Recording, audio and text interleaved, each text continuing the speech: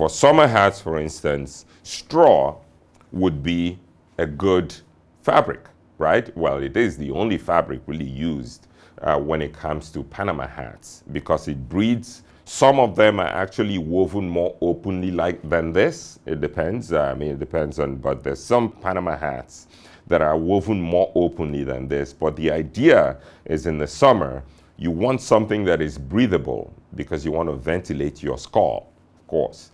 All these hats come with a sweatband.